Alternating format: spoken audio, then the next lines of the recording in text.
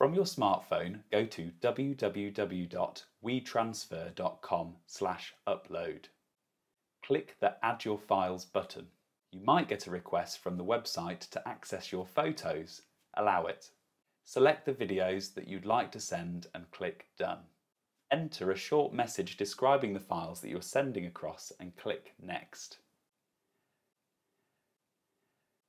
Select the Send an Email option. Click on the field Email to and enter the email address of the recipient. Click on the field Your Email and enter your email address. Click Transfer and your videos will be sent to your recipient. You'll want to be in a location where there is good Wi-Fi connection or a strong 4G connection. WeTransfer is a free service and the only person seeing your files will be the recipient. You will receive an email to inform you that your files have been sent successfully.